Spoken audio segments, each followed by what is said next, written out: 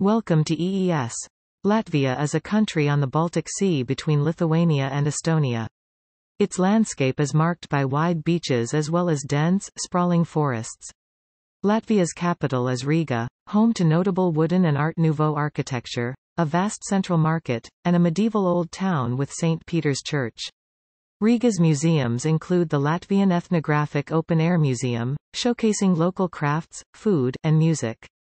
Latvia lies in northern Europe, on the eastern shores of the Baltic Sea and northwestern part of the East European Craton, between latitudes 55 degrees and 58 degrees north and longitudes 21 degrees and 29 degrees east Latvia has a total area of 64,559 kilometers of which 18,159 kilometers agricultural land, 34,964 kilometers as forest land, and 2,402 kilometers as inland water.